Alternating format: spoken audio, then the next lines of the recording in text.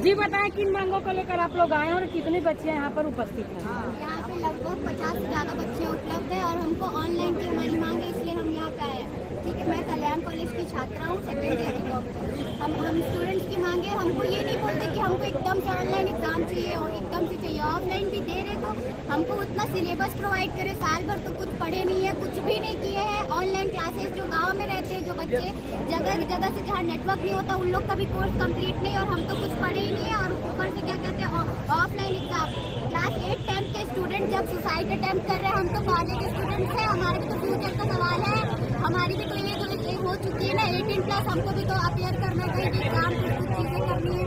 बहुत सी प्रॉब्लम्स है मैम बहुत सी चीज़ लेकिन ये कोई सुनने को तैयार नहीं अभी तो बोलते हैं कि छात्रों के भविष्य का बात है कि हमारा फ्यूचर खराब होगा, अगर ऑनलाइन देंगे ऑनलाइन देंगे दो साल पहले भी तो कोविड था।